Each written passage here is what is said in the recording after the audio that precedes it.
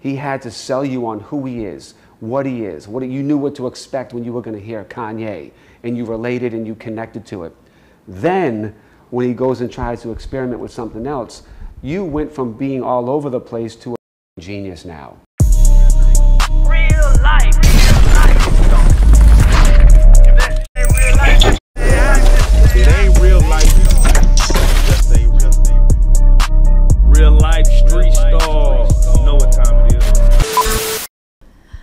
Are a man of many talents. You've pursued different career paths throughout your life. What do you say to someone who may have a multitude of talents or enjoys multiple things? You may enjoy rapping and be good at it, but you also may love interior designing Yeah. and be good at that too.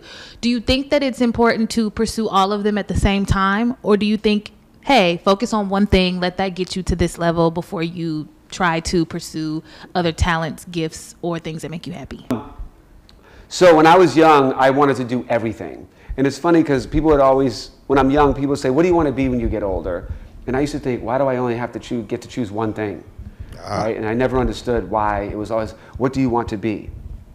I don't want to just be one thing, right? So it's it's a gift and a curse, because my innate ability to do a lot of things well was born out of my having to do things for myself to survive, to, to grow, to evolve, to build. So I had to learn how to be a good marketer because I have to market myself. I had to be a good speaker with customer service because I had to talk to people on why they should fuck with me. I had to become a good producer. I had to become a good artist. I had to become a good performer. I had to be all of these things. So I couldn't just do one because I had no one around to help me do the other things. So I didn't even know that there are other departments or other people that could help. I just assumed I had to do it all. So because of that, young, I learned how to do a lot of things. Like I can listen and write and think. I got a promotions company. I'm, I'm doing this, da da da.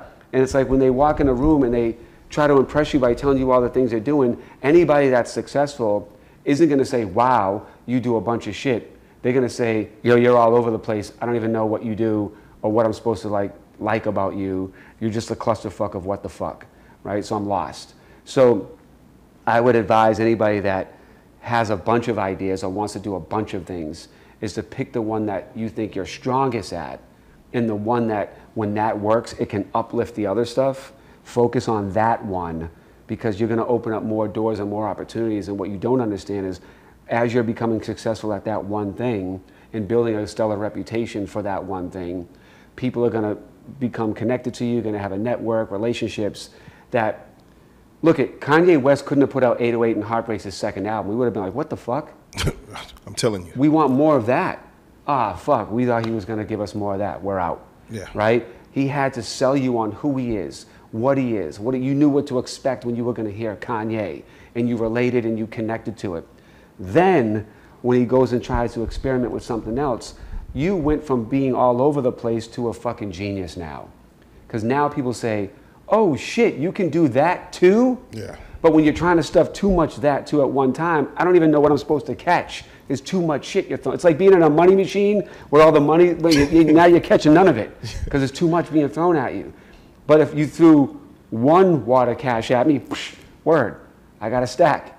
You know what I'm saying? So same thing with, with, with what you're doing with your life. Like do this one thing great.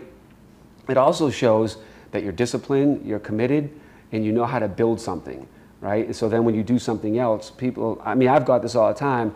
I, I'll go into meetings, and I, this, by the way, I had to train myself to do this because I was that guy when I was young. I'd go into record labels and be like, and I do, and I do, and I, and I can do this, and I can do.